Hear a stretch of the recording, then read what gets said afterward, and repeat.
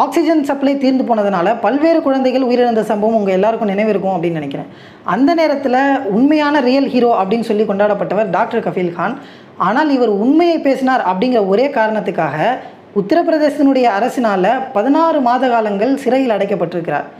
மேலும் Nipah virus Bihar flood மேலும் பல்வேறு ஏழைகளுக்கு ஒரு மருத்துவராக இருந்து சேவையாற்றிய இந்த மருத்துவரை தேசிய பாதுகாப்பு சட்டத்தில் கைது பண்ணி சிறையில் அடைக்கக்கூடிய அளவிற்கு அவர் பேசிய உண்மை என்ன அப்படிங்கிறதையும் நீதிமன்றம் இவருக்கு பெயில் கொடுத்திருந்தும் கூட நாங்கள் விடமாட்டோம் அப்படின்னு சிறையிலேயே வச்சுருந்ததன் காரணம் மேலும் இந்த நீதிமன்ற ஆர்டரில் என்ன இருக்குது அப்படிங்கிற எல்லா தகவலையும் சுருக்கமாக இன்றைக்கி நம்ம வீடியோக்குள்ளே பார்க்க போகிறோம் இந்த மாதிரி ஒரு குரல் கொடுக்கக்கூடிய மக்களுக்காக பேசக்கூடிய ஒரு மருத்துவருக்கு நடந்திருக்கக்கூடிய இந்த அநீதியை நிச்சயமாக நீங்கள் வந்து கேட்கக்கூடிய இடத்துல இந்த விஷயத்தை முழுவதுமாக பார்க்கணும் அப்படிங்கிற கோரிக்கையை உங்கள்கிட்ட வச்சுக்கிறேன். வீடியோக்குள்ளே போகிறதுக்கு முன்னாடி சேனலை சப்ஸ்கிரைப் பண்ணிக்கோங்க. மறக்காமல் பெல் ஐக்கானை கிளிக் பண்ணிக்கோங்க.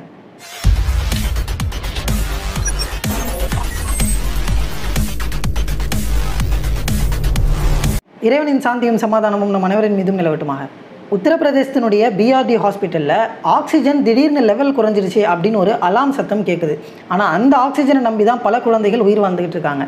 அந்த என்சிபாலிட்டிஸ் வார்டில் அப்போது இன்சார்ஜ் ஆஃபீஸராக இருந்த டாக்டர் கஃபீல் கான் அப்படிங்கிறவர் அங்கே போய் பார்க்குறாரு அங்கே இருக்கக்கூடிய சிலிண்டரில் இருக்கக்கூடிய ஆக்சிஜன் எல்லாமே இன்னும் ஒரு சில மணி நேரம் தான் வரக்கூடும்.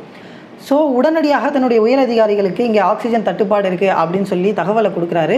மேலும் இவங்களையே நம்பி இருந்தால் வேலைக்காகாது அப்படின்னு சொல்லி பலருக்கும் தகவல் கொடுத்து விட்டு ப்ரைவேட் கிளினிக்கில் இருக்கக்கூடிய ஆக்சிஜன் சிலிண்டர்ஸை வந்து வேணும் அப்படின்னு தங்களுடைய நண்பர்கள்ட்டையும் ஆக்சிஜன் சிலிண்டர் சப்ளை பண்ணுறவங்கள்ட்டையும் இவருடைய முன்பண தொகையை கொடுத்து எனக்காக இதை கொடுங்க அப்படின்னு கெஞ்சி கூத்தாடி அந்த ஆக்சிஜன் சிலிண்டர்ஸ் எல்லாம் வாங்கிக்கிட்டு கார்லேயும் கொஞ்சம் போட்டுக்கிட்டு ஹாஸ்பிட்டலுக்கும் வந்துடுறார். ஆனால் அதன் பிறகு அந்த ஹாஸ்பிட்டலில் இருபத்தி மூன்று குழந்தைகள் ஆக்சிஜன் தட்டுப்பாடுனால இறந்தும் போயிடுறாங்க. ஆனால் இவர் இந்த மாதிரி ஒரு சிலிண்டரை கொண்டு வரல அப்படின்னு சொன்னால் இது நூற்றுக்கணக்கான குழந்தைகள் உயிரிழந்திருப்பாங்க அப்படின்னு சொல்லி அந்த நேரத்தில் சொல்லப்பட்டுச்சு. ஸோ இவருடைய இந்த உடனடியான ஒரு உதவி அப்படிங்கிறது இவர் ஒரு ரியல் ஹீரோ அப்படின்னு சொல்லி அந்த நேரத்தில் பல்வேறு சமூக வலைதளங்களில் எல்லா பத்திரிகைகளும் இவர் வந்து doctor Kafeel Khan real hero அப்படின்னு கொண்டாடப்பட்டார். இந்த பிஆர்டி ஹாஸ்பிட்டல் அப்படிங்கிறது ஒரு ஸ்டேட் ரன் பண்ணுற அரசு பராமரிக்கக்கூடிய ஒரு மருத்துவமனை. இந்த மருத்துவமனைக்கு ஆக்சிஜன் சப்ளை பண்ணுற நிறுவனங்களுக்கு முறையான தொகையை அரசு தராததுனால தான் இந்த ஆக்சிஜன் தட்டுப்பாடு ஏற்பட்டுச்சு அப்படின்னு சொல்லி அந்த குற்றச்சாட்டு மிக பரவலாக இந்தியா முழுக்கமைக்கும் தெரியப்படுத்தி பல்வேறு ஒரு சர்ச்சையை வந்து ஏற்படுத்தியிருந்தது. உத்தரப்பிரதேச அரசுக்கு மிகப்பெரிய ஒரு அவப்பெயரையும் தேடி கொடுத்திருந்தது. அதன் பிறகு உத்தரப்பிரதேசனுடைய முதல்வர் அந்த ஹாஸ்பிட்டலுக்கு விசிட் பண்ணும்போது டாக்டர் கஃபீல் கான்கிட்ட உரையாடும் போது சொல்லியிருக்காரு. ஸோ நீங்கள் தான் வந்து டாக்டர் கஃபீல் கான் இந்த சிலிண்டர்லாம் கொண்டு வந்திருக்கீங்க இல்லையா? நீங்கள் இப்படி கொண்டு வந்ததுனால பெரிய ஹீரோ ஆயிடுவீங்களா? நீங்கள் எப்படி ஹீரோ ஆகுறீங்க நான் பார்க்குறேன் அப்படின்னு சொல்லி சொல்லியிருக்காரு. பத்து ஆகஸ்ட் ரெண்டாயிரத்தி பதினேழு அன்னைக்கு நடந்த இந்த குழந்தைகளின் இறப்பு சம்பவம் சம்பந்தமாக மிகப்பெரிய பரபரப்பு ஏற்பட்டதுனால மூன்று நாட்கள் கழிச்சு இந்த டாக்டரை வந்து போஸ்டிங்ல இருந்து நீக்கிறாங்க. அது மட்டும் இல்லாமல் அவர் தான் அதுக்கு காரணம்ங்கிற மாதிரியான குற்றச்சாட்டும் பல இடத்துல எழுப்புறாங்க. ஸோ எய்ம்ஸ் மருத்துவமனையிலேருந்து இந்த டாக்டர் கஃபீல் கான் பலியாடு ஆக்கப்படுறார் இந்த குழந்தைகள் இறப்பில் அப்படின்னு சொல்லி ஒரு அறிக்கை கொடுத்துருந்தாங்க. கிட்டத்தட்ட அதே மாதத்தில் அவர் மீது ஒரு எஃப்ஐஆரும் பதிவு செய்யப்பட்டுச்சு. நான் பெயிலபிள் வாரண்ட்டில் அவரை அரெஸ்ட் பண்ணி சிறையிலையும் அடைக்கிறாங்க. அதன் பிறகு ஆறு மாத காலம் கழித்து இந்திய medical association ten April two thousand எயிட்டீனில் இவருக்கு ஆதரவாக ஒரு மிகப்பெரிய அறிக்கை ஒன்று கொடுக்குறாங்க. அதன் பிறகு இவர் ஜெயிலில் இருந்து தனக்கு என்ன நடந்தது அந்த நேரத்தில் அந்த குழந்தைகள் இறந்த சம்பவம் சம்பந்தமாக ஒரு லெட்டரும் எழுதி வெளி உலகத்துக்கு கொடுக்குறாரு. ஆறு தடவைக்கு பெயில் போட்டும் கிட்டத்தட்ட எட்டு மாத காலமாக அவருக்கு பெயில் கிடைக்கவே இல்லை. இறுதியாக twenty five April two thousand eighteen அப்போ அலகாபாத் உயர்நீதிமன்றம் இவருக்கான பெயில் வந்து கொடுக்குது. அதுலேயும் இதுக்கு மேலே இவரை வந்து கஸ்டடியில் வைக்க வேண்டியதுன்னு அடிப்படையே இல்லை அப்படின்னு சொல்லி இவருக்கு பெயிலும் கொடுத்து இவர் வெளியவும் வர்றார். இவர் வெளியே வந்த அப்புறமா பல்வேறு கொலை மிரட்டல்கள் இவருடைய குடும்பத்திற்கும் இவருக்கும் கொடுக்கப்படுது. அதில் குறிப்பாக ஜூன் ரெண்டாயிரத்தி பதினெட்டு அப்போ இவருடைய சகோதரர் மேலே மூணு தடவைக்கு வந்து துப்பாக்கி சூடை வந்து மர்ம நபர்கள் நடத்தியிருக்கிறாங்க. ஆகஸ்ட் ரெண்டாயிரத்தி பதினெட்டு அப்போ ஏற்கனவே இந்த சம்பவம் சம்பந்தமாக ஒரு ஆர்டிஐ ஆக்டிவிஸ்ட் வந்து ஒரு கேள்வி எழுப்பியிருந்தார் அந்த மருத்துவமனைக்கு. இந்த குழந்தைகள்லாம் எப்படி இறந்தாங்க அப்படின்னு. ஸோ அதற்கு பதிலளித்த அந்த மருத்துவமனை நிர்வாகம் ஆக்சிஜன் தட்டுப்பாடு குறைபாடின் காரணமாக தான் அன்னைக்கு அந்த குழந்தைகள் இறந்து போனாங்க அப்படின்னு ஒரு ரிப்ளையும் அவருக்கு திருப்பி கொடுத்துருந்தாங்க. இருபத்தி ரெண்டு செப்டம்பர் ரெண்டாயிரத்தி பதினெட்டு அப்போ அந்த பகுதியில் ஒரு மிகப்பெரிய மிஸ்ட்ரி ஃபீவர் அப்படின்னு சொல்கிற வகையில் ஒரு காய்ச்சல் வந்து பரவலாக வந்துக்கிட்டே இருந்தது. அந்த நேரத்தில் அங்கே இருக்கக்கூடிய மருத்துவமனைக்கு டாக்டர் கஃபீல் கான் போகிறாரு அங்கே இருக்கக்கூடிய குழந்தைகள் எல்லோருமே பார்க்குறாரு பார்த்துட்டு வெளியே வந்து ஒரு ப்ரெஸ் மீட் கொடுக்க இருந்தார். அதில் ஏதோ ஒரு குறைபாடுகள் இருக்குது அப்படின்னு சொல்லிட்டு. ஆனால் அந்த ப்ரெஸ் மீட் அட்டன் பண்ணுறதுக்கு முன்னாடியே அவரே வந்து உத்தரப்பிரதேச காவல்துறை வந்து கைது பண்ணி கூப்பிட்டு போகிறாங்க ஆனால் அந்த நேரத்தில் உடனடியாக பெயில் அவருக்கு நீதிமன்றத்தில் கொடுக்கப்படுது. மேலும் இரண்டு நாட்கள் கூட ஆகலை. இருபத்தி நான்கு செப்டம்பர் ரெண்டாயிரத்தி பதினெட்டுக்கு ஒன்பது வருடத்திற்கு முன்னாடி இவர் ஒரு ஃப்ராடு செய்தார் அப்படின்னு சொல்லி அதாவது ரெண்டாயிரத்தி ஒம்போதில் இவருடைய பேங்க் அக்கௌண்ட்டில் சில பணம் வந்து போச்சு.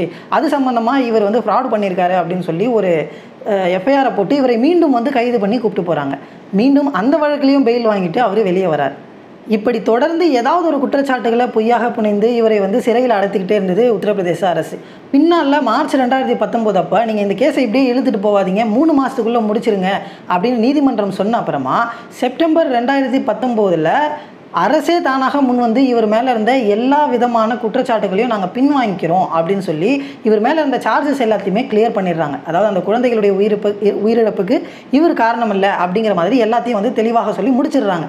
ஆனால் ஒரு சில தினங்கள் கூட ஆகலை. அக்டோபர் ரெண்டாயிரத்தி பத்தொம்போது அன்னைக்கு இவர் ஏற்கனவே வந்து அங்கே ஒரு ப்ரெஸ் மீட் கொடுக்க போனார் இல்லையா? அதை எல்லாத்தையும் கம்பேர் பண்ணி இவர் வந்து ஒரு இன்கரெக்ட் இன்ஃபர்மேஷனை மக்கள் மத்தியில் எப்போ பார் ப்ரெஸ் கிட்ட கொடுக்குறாரு. பொலிட்டிக்கலாக வந்து கமெண்ட் பண்ணுறாரு அப்படி இப்படின்னு சொல்லி இவரை டிபார்ட்மெண்ட் ரீதியாக நாங்கள் வந்து இன்னும் இன்வெஸ்டிகேஷனை நடத்துவோம் அப்படின்னு மீண்டும் ஒரு குற்றச்சாட்டை அவர் மேலே வச்சுது. ஸோ இவரை வந்து ரெகுலராக ப்ராக்டிஸ் பண்ணுற ஒரு டாக்டராக இல்லாமல் இவரை எப்படியாவது சிறையில் அடைக்கணும் இவர் எப்படியாவது முடக்கிக்கிட்டே இருக்கணும் அப்படின்னு தொடர்ச்சியாக அரசு வந்து முயற்சி பண்ணிக்கிட்டே இருந்திருக்கு. மேலும் நிஃபா வைரஸ் அப்படிங்கிற ஒரு வைரஸ் மிகப்பெரிய அளவில் கேரளாவில் வந்து ஒரு தாக்கத்தை ஏற்படுத்திக்கிட்டு இருக்கும்போது தான் ஒரு மருத்துவர் அப்படிங்கிறதுனால நான் அங்கே வந்து உதவி செய்ய விரும்புகிறேன் அப்படின்னு சொல்லி இவர் வந்து ஒரு அனுமதி கேட்டிருந்தார். அந்த நேரத்தில் கேரளாவினுடைய முதலமைச்சர் பினராயி விஜயன் அவர்களுமே வந்து நீங்கள் கண்டிப்பாக வந்து உதவி பண்ணணும் உங்களை வெல்கம் பண்ணுறோம் அப்படின்லாம் கூப்பிட்டுருந்தாங்க. ஒரு பக்கம் இந்த விஷயம் நடந்துக்கிட்டே இருக்கும்போது உத்தரப்பிரதேச அரசு திரும்பவும் தலையிட்டு இவர் வந்து அந்த மாதிரிலாம் போக முடியாது அவர் இப்போ சஸ்பென்ஷனில் இருக்கிறாரு மேலும் அவர் வந்து சைன் பண்ணணும் அப்படின்னு பல காரணங்களை சொல்லி இவரை போக விடாமல் தடுத்துருச்சு. மேலும் பீகார் ஃப்ளட் வந்த சமயத்தில் அங்கே இருக்கக்கூடிய மக்களுக்கு அங்கே வெள்ளத்திலேயே இறங்கி போய் வந்து இவர் பல மக்களுக்கும் பல்வேறு உதவிகளை வந்து அந்த நேரத்தில் களத்தில் இறங்கி பண்ணிட்டு இருந்தார். இதுவும் மக்கள் பலராலும் பாராட்டப்பட்ட ஒரு விஷயம். எல்லா மக்களுக்கும் அவர் உதவி செஞ்சுக்கிட்டு இருக்கக்கூடிய ஒரு மருத்துவராக இருக்கிற காரணத்தினால டிசம்பர் ரெண்டாயிரத்தி பத்தொம்போது அப்போ இந்த சிஏஏ அப்படிங்கிற ஒரு மிகப்பெரிய போராட்டம் நடந்துகிட்டு இருந்த சமயத்தில் ஏஎம்யூ பல்கலைக்கழக மாணவர்கள் இவரை சிறப்பு அழைப்பாளராக அந்த காலேஜுக்கு கூப்பிட்டுருந்தாங்க அந்த போராட்டத்துக்கு. ஸோ அந்த போராட்டத்தில் போய் இவர் வந்து இவருடைய கருத்தை அதற்கு எதிர்ப்பாக இது இந்திய இறையாண்மைக்கு எதிரான ஒரு சட்டம் அப்படிங்கிற மாதிரி அங்கே பேசியிருந்தார். ஸோ இவர் பேசியதுனால அங்கே மிகப்பெரிய ஒரு கலவரம் ஏற்பட்டுச்சு. அங்கே மிகப்பெரிய கலவரம் ஏற்படுற மாதிரியான பேச்சை இவர் பண்ணார். வன்முறையை தூண்டினார். நாட்டிற்கு எதிராக பேசினார் அப்படின்லாம் சொல்லி முப்பது ஜனவரி ரெண்டாயிரத்தி இருபது அப்போ இவரை மும்பை ஏர்போர்ட்டில் வச்சு அரெஸ்ட் பண்ணுறாங்க ஆனால் ஆக்சுவலாக இவர் பேசியதில் ஒரு முக்கியமான விஷயத்தை என்ன கோட் பண்ணி சொல்லணும் அப்படின்னா இது அந்த ஆர்டரில் வந்திருந்த ஒரு விஷயம். அதாவது நம்மளுடைய நாட்டில் நம்ம சின்ன வயசுலேருந்தே குழந்தைகளாக மனிதர்களாக தான் வளர்ந்து வந்திருப்போம். இந்துவா முஸ்லீமான்லாம் பார்த்துருக்க மாட்டோம். ஆனால் நம்மளுடைய மோட்டா பாய் அப்படிங்கிறவர் நம்ம ஹிந்துவா முஸ்லீமா அப்படின்னு வேறுபாடு காட்டி காட்டி வளர்க்கக்கூடிய வகையில் வேலைகளை பார்த்துட்ருக்காரு அப்படின்னு இவர் ஒரு கமெண்ட் சொல்லியிருந்தார். அந்த மோட்டா பாய் அப்படிங்கிறது நம்மளுடைய உள்துறை அமைச்சர் அமித்ஷாவை தான் அவர் சொல்லியிருந்தார். ஸோ இந்த மாதிரி அந்த ஒரு அரை மணி நேர ஸ்பீச் அப்படிங்கிறது முழுமதுமாக இருந்துச்சு. அது வந்து மிகப்பெரிய ஒரு வன்முறையை ஏற்படுத்துச்சு அப்படின்னு சொல்லி அவரை வந்து சிறையில் அடைச்சிருந்தாங்க. இந்த வழக்கில் பத்து பிப்ரவரி ரெண்டாயிரத்தி இருபது அன்னைக்கு நீதிமன்றம் அவருக்கு பெயில் கொடுத்துருச்சு. ஆனால் பெயில் கொடுத்தும் கூட மூன்று நாட்களாகியும் அவரை வந்து ரிலீஸ் பண்ணவே இல்லை ஜெயிலில் இருந்து. ஏன் இவரை ரிலீஸ் பண்ணல அப்படின்னு பல்வேறு தரப்பு மக்கள் கேள்வி எழுப்பிக்கிட்டு இருக்கும் பொழுது பதிமூன்று பிப்ரவரி ரெண்டாயிரத்தி இருபது அப்போ தேசிய பாதுகாப்பு சட்டம் அப்படிங்கிற இந்த என்எஸ்ஏ அப்படிங்கிற நேஷனல் செக்யூரிட்டி ஆக்ட் கீழே இவர் மேலே ஒரு வழக்கு பதிவு பண்ணி இவரை மீண்டும் சிறையில் அப்படியே வச்சுக்கிறாங்க. ஏன் அப்படின்னு கேட்டால் இவர் வெளியே வந்தால் அங்கே இருக்கக்கூடிய பொது அமைதி கெட்டு போயிடும் அவ்வளோ ஆபத்தானவர் அப்படின்லாம் சொல்லி அவரை சிறையில் அடைச்சாங்க. ஆக்சுவலாக ஆயிரத்தி தொள்ளாயிரத்தி எண்பதில் வந்த இந்த என்எஸ்ஏ சட்டத்தின் அடிப்படையில் ஒரு ஒருத்தரை வந்து சிறையில் பன்னிரெண்டு மாதங்கள் வரையில் வச்சிருந்திருக்க முடியும். மார்ச் ரெண்டாயிரத்தி இருபதில் கோவிட் நைன்டீன் கொரோனா வைரஸ் பரவலாக வந்திருந்த அந்த சமயத்தில் இவர் சிறையிலிருந்து என்னை விடுதலை பண்ணுங்கள் நான் மக்களுக்கு நிறைய சேவை செய்யணும். இப்போ ரொம்ப இக்கட்டான சூழலில் இருக்காங்க. ஆஸ் அ டாக்டராக நான் வந்து அதை பண்ணணும் அப்படின்னு கேட்குறார் ஆனால் அரசு வந்து அதை மறுத்துருச்சு. ஸோ ஜூலை ரெண்டாயிரத்தி இருபது அப்போ அங்கேருந்து ஒரு லெட்டர் எழுதுறாரு. இந்த சிறை அப்படிங்கிறது ஒரு லிவிங் ஹெல் அதாவது ஒரு வாழும் நரகமாக இருக்குது கிட்டத்தட்ட நூற்றி ஐம்பது பேருக்கு ஒரே ஒரு டாய்லெட் தான் இந்த சிறையில் வந்து இருக்குது இங்கே இருக்கவே முடியல. அவ்வளவு ஒரு கொடூரமான விஷயங்கள் வந்து இங்கே இருக்குது அப்படின்னு சொல்லி அங்கேருந்து ஒரு லெட்டரும் எழுதுகிறார் இப்படி தொடர்ச்சியாக ஏழு மாத காலங்கள் சிறையில் இருந்த அப்புறமா கடந்த ஒன்றாம் தேதி அலகாபாத் உயர்நீதிமன்றம் இவர் மேலே போடப்பட்ட அந்த என்எஸ்ஏ அப்படிங்கிறது ஒரு தவறான வழக்கு அப்படின்னும் இவரை டீடென்ஷனில் வச்சிருக்கிறது இல்லீகல் சட்டத்திற்கு முரணாக இவரை சிறையில் வச்சுருக்காங்க அப்படின்னு சொன்னாங்க. மேலும் அந்த ஆர்டரில் இவர் பேசியதில் நாட்டினுடைய ஒற்றுமை தான் முழுக்க முழுக்க இருந்துச்சே தவிர இதில் வேற்றுமை உண்டாக்கவோ கலவரத்தில் உண்டாக்குற மாதிரியான செயல்கள் எதுவுமே இல்லை அப்படின்னும் இவர் என்ன பேசினார் அப்படிங்கிறத ஜெயிலில் வந்து இவரை சீடியில் காட்டுங்க அப்படின்னு சொல்லியிருந்த போது அங்கே சரியான வசதி இல்லைன்னு சொல்லி இவர் என்ன பேசினார் சொன்னார் அப்படின்னு அவர் மறுப்பு தெரிவிக்கிறதுக்கு கூட ஒரு அடிப்படை சூழலை வந்து உருவாக்கி தராது கண்டிக்கத்தக்கது போன்ற விஷயங்கள் எல்லாம் சொல்லி ஸோ இவர் வந்து இந்த என்எஸ்ஏ சட்டத்தின் கீழ் கைது செய்யப்பட வேண்டியவர் அல்ல. இது சட்டத்திற்கு முரணாக இவரை கைது செய்து வைத்திருக்கிறார்கள். உடனடியாக அவரை வந்து விடுதலை பண்ணணும் அப்படின்னு அலகாபாத் உயர்நீதிமன்றம் கடந்த ஒன்றாம் தேதி ஒரு தீர்ப்பு வந்து கொடுத்திருந்தாங்க. ஸோ அதன் அடிப்படையில் அன்னைக்கு மிட் நைட்டே அவர் வந்து ரிலீஸ் ஆகி வெளியவும் வந்திருந்தார். ஸோ வெளியே வந்த உடனே ஜெயில் வாசல்லையே அவர் நிறைய பேர் வந்து வரவேற்றாங்க. இதற்கும் பல மக்களும் வந்து ஆதரவு தெரிவிச்சிருந்தாங்க. அந்த நேரத்தில் அவர் சொல்லும் பொழுது என்ன வந்து உள்ள ஐந்து நாட்கள் உணவு இல்லாமல் வச்சுருந்தாங்க எவ்வளவோ கொடுமைப்படுத்தினாங்க. ஆனால் இந்த நேரத்துலையும் நான் வந்து காவல்துறைக்கு ஒரு நன்றியை தெரிவிக்க விரும்புகிறேன் அது என்னென்னா மும்பையில் என்னை முப்பது ஜனவரி மும்பை இன்டர்நேஷ்னல் ஏர்போர்ட்லேருந்து கைது பண்ணி கூப்பிட்டு வரும் வழியில் என்னை என்கவுண்டர் பண்ணாமல் சிறைக்கு கூப்பிட்டு வந்ததுக்கு நான் நன்றி சொல்லிக்கிறேன் அப்படின்னு சொல்லியும் சொல்லியிருந்தார். மேலும் இதோட முடிய போகிறதில்ல என் மேலே இன்னொரு வழக்கையும் இந்த அரசு வந்து போட்டு என்னை சிறையில் தள்ளும். அது ஆச்சரியப்படுறதுக்கு இல்லை அப்படிங்கிற கருத்தையும் சொல்லியிருந்தார். ஏன்னா அந்த மாதிரி தான் இவர் ஒவ்வொரு தடவை வெளியே வரும் பொழுதும் ஏதாவது ஒரு வழக்கை போட்டு இவரை வந்து இவர் உண்மையை பேசிடக்கூடாது. இவர் உண்மையை பேசினால் அது அவர்களுடைய ஆட்சிக்கு ஆபத்தாக இருக்குது அப்படிங்கிற கருத்தின் அடிப்படையில் அவரை தொடர்ச்சியாக சிறையில் வச்சுக்கிட்டே இருக்கிறாங்க.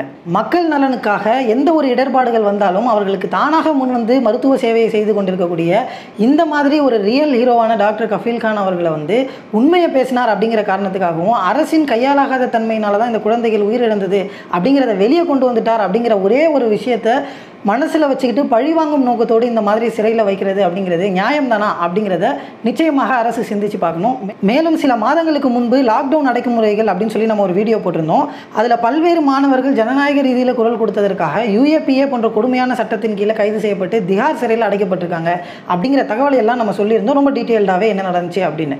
ஸோ அந்த வழக்கில் தற்போது மே இருபத்தி மூன்று கைது செய்யப்பட்ட தேவங்கனா அப்படிங்கிறவங்களுக்கு அதே ஒன்றாம் தேதிக்கு டெல்லி உயர்நீதிமன்றம் பெயில் கொடுத்திருக்கு.